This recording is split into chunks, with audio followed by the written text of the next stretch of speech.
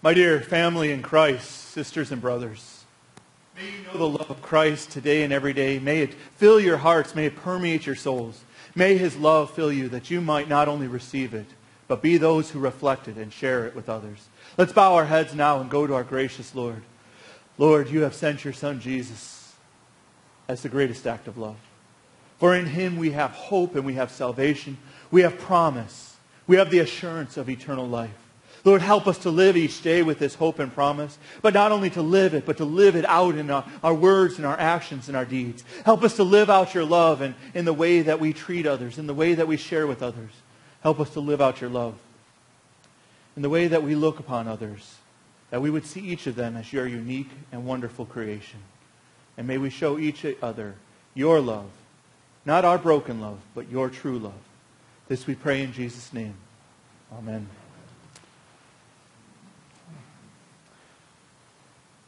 Well, the last couple of weeks, we've been looking at different elements of stewardship. We looked at how God's grace gives us the ability to be generous, as we've seen his generous generosity in giving his only son for us. We've seen how faith transforms not only the way that we look upon giving to church, but how it meant to transform the way that we look upon giving and using the finances, the gifts and the blessings God gives to us. Today we complete our stewardship series looking at the way that love is meant to transform us, to change our hearts, to change our lives, specifically the love of Christ. But it's also LWML Sunday. And I don't know if you knew this, but this is the 75th anniversary of the LWML. 75 years the LWML has been sharing the gospel, sharing uh, their time, their talents, their, their mites with others. 75 years in their words and their deeds. LWML, women in the Lutheran Church have been sharing the gospel. But we know that it, it really, in truth, it, it wasn't just 75 years, but we can go back to the very beginning of the church. Because love is part of the DNA of the church. We can go back to the very beginning of when, when Christ ascended and the church began to be called the church. And we see that love was part of who they were. It was part of who they were meant to be. Love for God and love for one another. I mean, hopefully you were listening, and I know it was a bit of a longer reading, but hopefully you were listening as Dolores read this morning. As she read about how important love is between one another. That Christ living in us, that God's love is made complete in us. And when Jesus was confronted with what are the two most, well, what is the most important law? He didn't him and haw, did he? He didn't think to himself and say, well, you know, it, might be good to not steal or anything like that. He said, love the Lord your God with all your heart, with all your soul, with all your mind, with all your strength. And what was the other, you guys? Love your neighbor as yourself. Love is part of the identity of the church. It's meant to permeate every part of the church. It's meant to fill every corner of the church. It's meant to fill our hearts and our lives. And we know this, right? We're Lutherans. We're 500 years in the making, as I saw it written somewhere recently. We're Lutherans. We, we, we, we, we, we have boots on the ground in, in Florida and Louisiana and, and Texas. We're Lutherans. We have boots on the ground right now in churches uh, in Las Vegas sharing the gospel as the city continues to re- reel and, and sending comfort dogs to bring comfort to those people. We, we know all about love, right? So why on earth is there, do we need a stewardship sermon on love? If we, if we already practice it, if we already do it, if we already have all these different missions and ministries at LWML, maybe we can all just go ahead and enjoy some of the treats they prepared for us and let's get moving. What do you guys think? You guys know? Well, apparently John didn't think that way. Apparently John didn't think that, that the church completely had their minds wrapped around the love of Christ. Because he spent not just the, the two chapters that we read from chapter 4 and chapter 5 of 1 John, but it permeates the entire book of 1 John. His first letter to the church, he spent a lot of time talking about what it looks like to love God and what it looks like to love others. And, and I think there's a reason for that. Because if you go back and you look and see what, John, what John's audience originally looked like, we see a young church. Now, John was not a young man. John, at this point, had already walked many days. He'd seen many sunrises, many sunsets. And, and, and, he, was, he had been exiled to the island of Patmos. And now, just near the end of his life, the, the, his Roman captors allowed him to return home. And so important to him was to write to this young church about what love looked like. See, unfortunately, well, they had witnessed Christ and his love. I mean, these are first generation folks. We're not talking about people who were saying that's what Jesus did back then. This is what, these are people who saw Jesus working, moving, acting in the world. But they'd lost sight of it. They'd lost sight because they'd allowed some of the persecution, some of the hardships of life to sneak in and to get into the way. Their, their persecution made them turn inward. And, and, and instead of focusing on God, they focused on themselves. And bickering rose up. And, and arguments and blame game never happened in First Lutheran Church, Law Preschool, right? We're good there. But, it, but it was happening in that early church. And so John wrote, wrote the words that we just heard a moment ago, and we're going to read them again to this young church. This, this wise man who had seen many years, he wrote these words to encourage them. He wrote these words so that they would know what love should look like, what their walk with God should be. Let's turn now to 1 John, the fourth chapter. Now, that's near the back of the Bible, so if you flip all the way to the back and just thumb a couple pages, you'll get there pretty quick. Um, it is page 1185 in, your, in the Red Pew Bibles. 1 John, the fourth chapter. 1 John chapter 4. If you're using your cell phone, uh, we're going to be reading from the NIV translation. So if you happen to have your cell phone, feel free. And we're going to go to, again, 1185 in the Red Pew Bibles. If you have your own, you're certainly welcome to use that.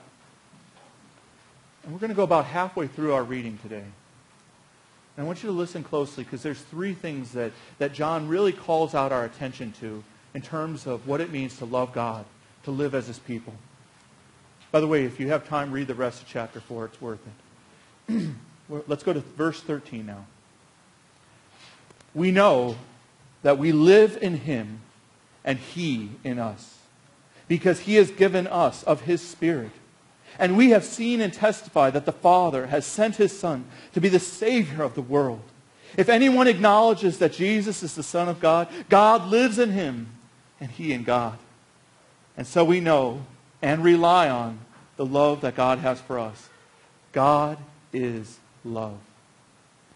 God is love. Whoever lives in love lives in God, and God in him. Feel free to keep your finger in the page because we'll go back there in a moment or two.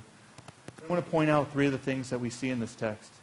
First of all, part of loving God, part of our walk with God, is acknowledging Him.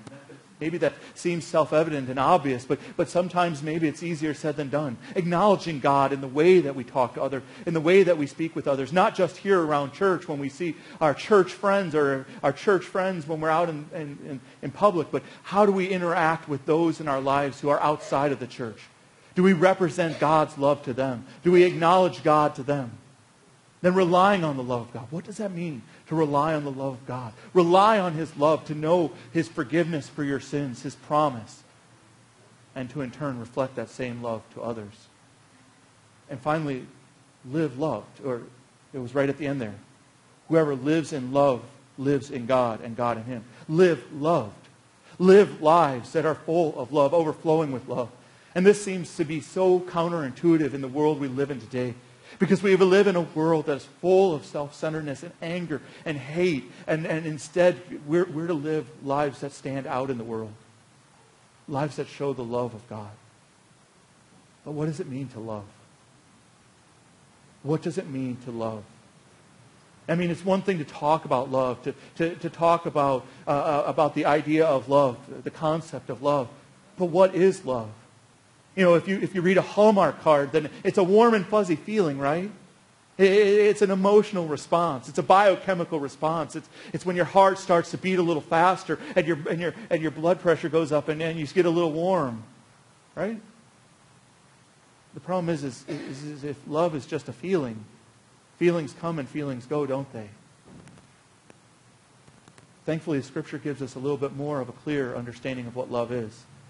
This is not Berkey's opinion on what love is, but this is straight out of Scripture. There's just a couple verses before we read today. Verse 10. I want to just read this to you because it's so nice when Scripture does this. It doesn't happen all the time, but it, it, this is love. That, that's how the verse starts out. This is love. Not that we love God, but that He loved us and sent His Son as an atoning sacrifice for our sins.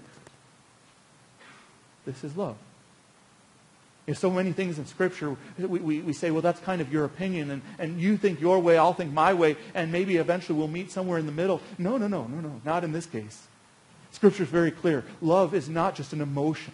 Love is not just a response to, to somebody who makes us feel happy or someone who makes us feel warm and fuzzy. Love is self-sacrifice, and God showed us that great love in his son Jesus when he gave his only son. What's more is if we read the vocabulary there, many of you maybe know this word. it's the word agape or agapao. The, the, one is the, the first one is the noun, the second one is the verb. That word, we always translate it love. Everywhere in the, in the New Testament, when we see that word, we translate it love. But it really has its roots in that idea of self-sacrifice. What is love then? It is self-sacrifice. It is putting God, it is putting others before ourselves. And this is when, and you all who have lived in marriage for 40 years or, or 30 years or even in 10 years, you know that love is not a feeling because if it was a feeling, then marriage comes and marriage goes. But if love is more than that, if love is caring for the other person enough to put them first, you see those marriages surviving, 60-year marriages. Because instead of putting ourselves first, we put the other person first. The same is true in our relationship with our church family, with our God. As we put him first. Our love for him comes first. It's not all about us, but all about him. It's not all about how, what is best and what makes us feel good, but it's about what God loves and his love dwelling within us. Now, again, it can be hard when we think about love. And we think about, well, how does that look in a practical sense? Because I know, I don't know about you, but, but it's one thing to, for my family to hug and kiss them, and that's one way of showing love. But, but what about, you know, our neighbors at church? Sure, we hug and kiss some of each other, but not everybody's comfortable with that. I want you to turn with me to 1 Corinthians 13. Now, I, I know this is a familiar text, but I really would like you to read it with me because it's, it, it's worth your time because so often we skim through it because when Paul gets into his list writing modes, uh, we, we just skim right through. It's page 1114. 1114 in those Pew Bibles, and we're going to 1 Corinthians chapter 13. And, and I want you, even if you don't read the list on the page with me, I want you to listen. And I want you to think about what love looks like in a very real way in this world. Love is patient. We're starting at verse 4, by the way. Love is patient. Love is kind. It does not envy. It does not boast. It is not proud. It is not rude. It is not self-seeking. It's not easily angered. It keeps no record of wrongs. Love does not delight in evil, but rejoices with the truth. It always protects, always trusts, always hopes, always perseveres. Love never fails.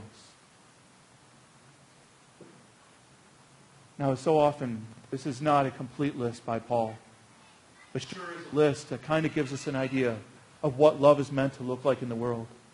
And I want you, though, to look at this and see where are there places where maybe your love is not all that it should be. Are there spots in your own life where maybe your love for God, your love for your neighbor is not as patient as it should be?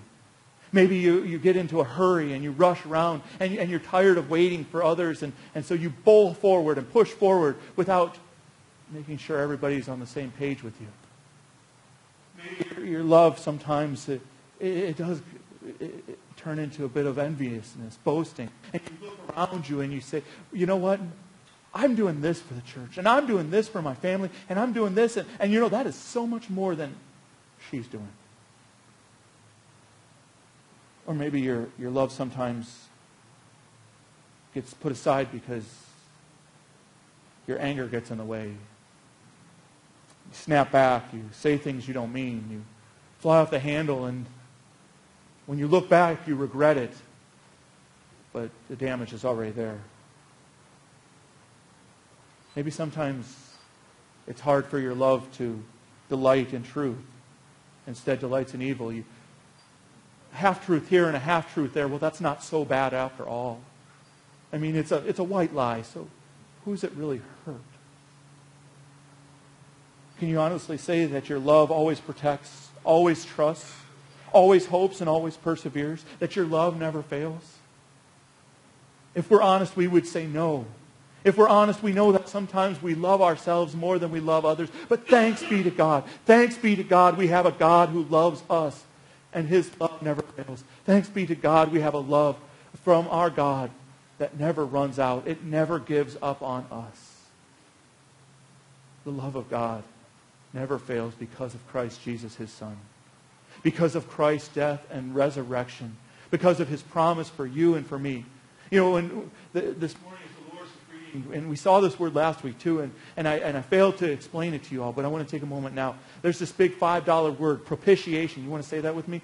propitiation. I know it's kind of hard for some of you to say. That's okay. If you just remember that it's in that, in, uh, that chapter 4 there. But propitiation, that is not just, a me maybe just immediately hear the word payment. But when you see that word propitiation, it goes all the way back to the Old Testament for us. It focuses us all the way back to God's promise 4,000, 5,000 years ago. To his promise that he made in a garden. A promise that he made to Adam and Eve a promise that he would never fail them and that he would one day redeem them. And in Christ, he kept that promise. Up until that time, though, though there was the sacrificial system, always, though, meant to point to Jesus. And that's where that word propitiation comes from. It goes back to the sacrificial system, the payment that was made on behalf of a person for their sins. Never was it a sheep or a goat or two turtle doves, but always Jesus. Every one of those goats, every one of those lambs, every one of those birds was meant to point us to Jesus and the blood that he shed on the cross. When you see that word, know that word is synonymous with God's love for you and for me. Know that the love of God never fails. It never runs out. That when you rely on him, he will always be there for you. When you trust in him, he will give you the strength that you need when you put your hope in him, he will not disappoint. Love in Christ is strong and living, as we just sang. Love in Christ is strong and living. It is meant to be lived out in our lives in our world. When we live our lives in stewardship to God, we look at not the obligation of being the God's people, of being God's people, but the opportunity of living as his people, living loved, serving others acknowledging Him and relying on Him. When you look at your life, when you look at the world around you, you will see that there are so many places where God has given you opportunity to share His love. You don't have to go far. Even in our own community, we find ourselves struggling at this time, reeling at this time, knowing that there are those who need our love. Dear people of God, we have that opportunity, that that we have that chance to share God's light, to share His love with others. If we open our eyes and we see all those who God puts in our lives. Let's take a moment now to bow our heads and, and, and let's seek God's wisdom, His guidance, where He is leading us. Lord, you have loved us with an everlasting love. A love that never fails and never gives up, never runs out. For when all else passes away, your love remains. You have said that to us in your word. Help us, Lord, to live lives of love. Those uh, uh, in our lives around us, those uh, in far reaches of the earth. May we show your love however you may have in mind. Lord, sometimes it's hard for us to see, though. Sometimes it's hard for us to recognize where we might reflect your love. Open our eyes, Lord, so we might see the opportunities you place before us. Open our eyes so that our words may not only be words, but we may put them into action, so that we as your people may not only love in word, but in deed as well. And Lord, let us see your opportunities that you provide us as true opportunities, as chances to share that love wherever we may go, whoever we may see. Lord, help us to be your beacon of light in this world. Help us to be those who proclaim your good news, your forgiveness, and your hope. This we pray in Jesus' name. Amen.